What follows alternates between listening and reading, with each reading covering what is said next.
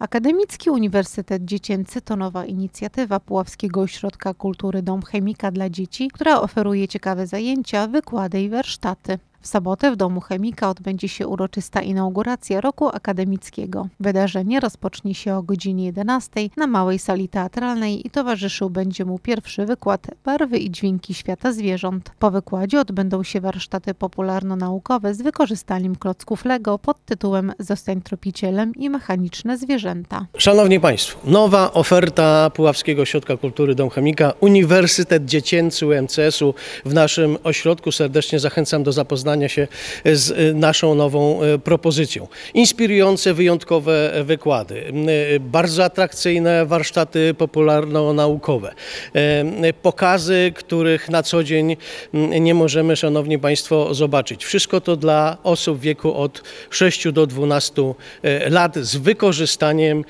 nowoczesnych narzędzi cyfrowych. Inauguracja już w najbliższą sobotę, 30 września o godzinie 11. Zapisy, Szanowni Państwo, jeszcze trwają. Zapraszamy na inaugurację zarówno studentów, jak, jak i osoby zainteresowane wraz z rodzicami i opiekunami. Serdecznie Państwa zapraszam.